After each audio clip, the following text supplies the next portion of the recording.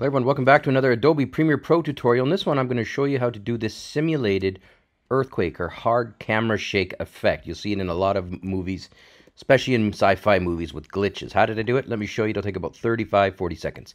Here we go. Drag and drop your footage into the timeline like I've done here. Make sure your playhead's at the beginning.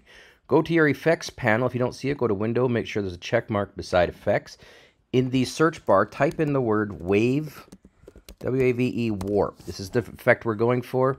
It's under wave, video effects, distort, wave warp. Drop it onto the footage, and then you get some default settings, none of which are correct for what we're looking for. So let's go through them. First off, wave type, switch it from sine to smooth noise. This is a smooth uh, type effect. We want to take our wave height down from 10. We want to drop that to about, well, let's go, actually, we're going to increase that to 100, pardon me.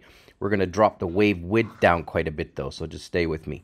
Wave width starts at 40, take it down to 1. Direction from 90 degrees, we're taking it down to 0 degrees. Wave speed, take it up to 2, yeah, around 2, 2 should work. And then everything else should be okay. Let's hit spacebar, see what we got. There you go. We've got a earthquake simulated effect. If you want more wave height or if you want more width, you can go ahead and adjust them as you see fit. Finally, you can also increase the scale under motion to about 104% only because if you don't do that, you'll see some slight fuzzy blurring on the edges which might show up as black in the final copy.